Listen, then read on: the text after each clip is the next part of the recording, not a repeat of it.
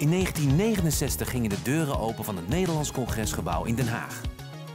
Volgend jaar maart is dat precies 50 jaar geleden en dat vieren we.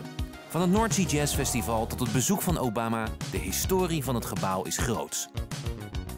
Wij zijn op zoek naar jouw verhalen en beeldmateriaal voor een documentaire over het congresgebouw, nu genaamd het World Forum The Hague. Laat het ons weten via congresgebouw.omroepwest.nl